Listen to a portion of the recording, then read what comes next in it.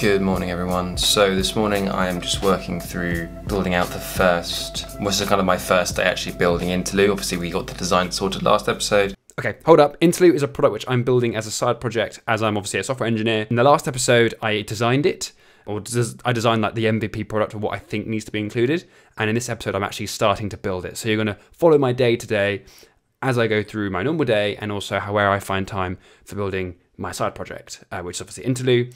Um, and by at the end of the video, I'm going to share with you what I actually got to build, and you can see how I how I got on. So make sure you stick around to the end so you can see that.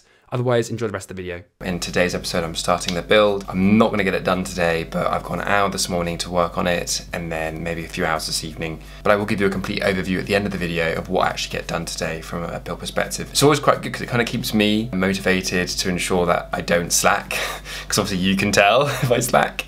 Yeah, that's kind of what I'm to be starting out today. So building out the first kind of the, the main design, and then I think I might do some back end as the week goes on. So yeah, let's crack on.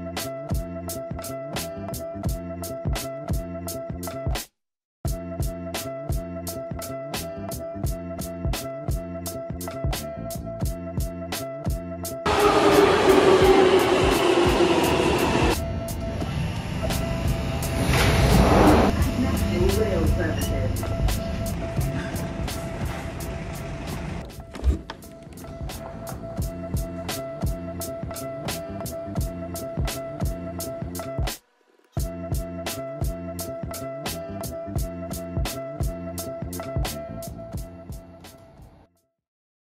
So it's been a super productive day here in the office. Everyone else has gone home now. I'm the last one here. So I'm just going to finish up, close my, my desk for the day, client, and I'm going to be working back on Interlu. I started some front end stuff this morning. Took a bit longer than I wanted to. You know, I didn't make as much progress as I wanted to. So I'm going to try and get a bit more done now. I had lunch just in the courtyard down down there. I don't know if you can remember in my last video. That was really nice. It's been really warm today as well. So um, yeah, beautiful day. Anyway, yeah, so now I'm just going to close the desk, as I said, and then I'm probably going to shoot, or maybe do an hour of here on Interlu, maybe an hour back home. Haven't decided yet. You'll come along for the journey either way.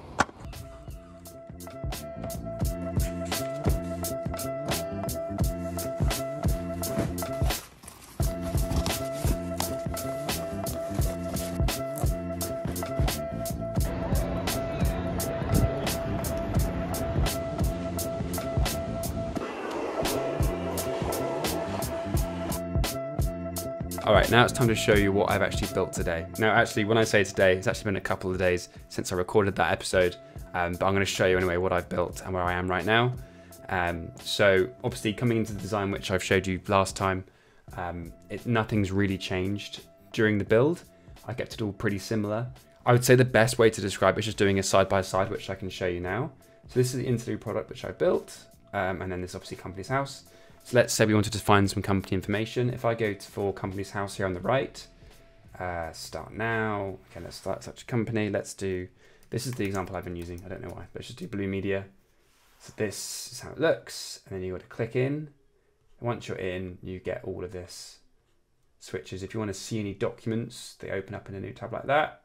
And then you can, you can go through, if that makes sense. So that is Companies House's tool. So this is the new UI which I've been building. So if I were to search blue media, media. Okay, so you get blue media, you can see the active overview and it loads in. So this is obviously a really basic version, but it's working. And the fact that this has got this far, I'm really proud with. I'm really proud. It's literally been a week and a half. So the rest of these items, filings, periods, and uh, filings, people, and periods aren't done yet but they'll look something like this, where you've got this, uh, people, and then obviously the periods. To be honest, I don't think there's much more I would think I really need to build for the MVP. I think there are a couple other things which I obviously will build, which will be the saved and history, so you can see which companies you've clicked save for, kind of like bookmarks on Instagram uh, and Twitter or X, and then you've got history, which is obviously all of your past history searches. Thinking I'm gonna do something like company, uh, not Companies House, sorry, like GitHub uh, repo contributions. It's like the way they're with the way they're displayed. I think it'd be really cool if we do something like that. And that's pretty much it. I think what I really need to do once I've got those bits and bobs done, which I think will be probably the end of next week, is get it in front of people, get it in front of a couple, you know, potential users, and ask them, you know, what do they think? Is it actually a better user experience than this on the right? Um, and if it isn't, why? Like, what what else can we do to improve? So the whole idea behind Interlu is to be able to make those kind of mental jumps that people do make when looking at this information, you know, easier and, and make it for them so it's more convenient for when they're looking at companies and you know looking at companies looked at the day before etc etc it's all about convenience this product i don't know if there's a, a, you know a user out there that would find this useful or not but we'll see like for example here year end is i think a really important one in some you know financial or tax industries and having the year end actually displayed in its own field i think super valuable you know normally people would have to go to filings okay so it's i think september for the account statement got to look here. Yeah, so you'd have to deduce it from here, but sometimes that can be wrong and odd or whatever. Again, that's still a mental thought. If it's just, okay, year end September, cool.